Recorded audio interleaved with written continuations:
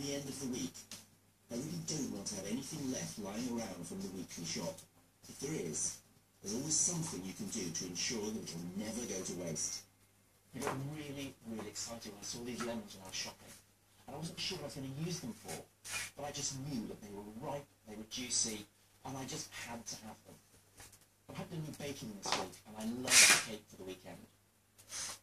It's lemon cake it is. The store cupboard staples, flour, sugar, some butter. But I have a plan to add something a little more unusual. Some baking is actually quite complicated, but I make a very simple cake. We start with equal quantities of butter and sugar, about 200 of each. I'm using a dollop golden caster sugar because it's got a very slight butterscotch note to it, and it gives the cake a really good colour.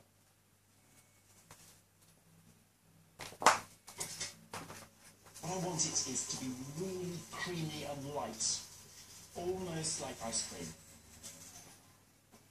So I'm using two of these large lemons, and I just want the very fine outer zest.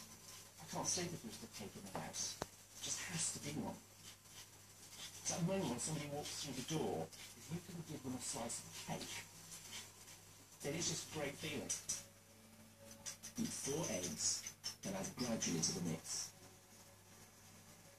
I'm going to substitute half flour with ground almonds for a richer, more moist cake.